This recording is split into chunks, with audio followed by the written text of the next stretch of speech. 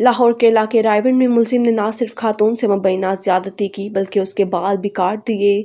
Police के मुताबिक मुलिम को गिरफ़्तार कर लिया गया। थाना रायवन में मुतासरा खातून की दरख्वास्त पर मुलिम के खिलाफ मुकदमा दर्ज कर लिया गया है।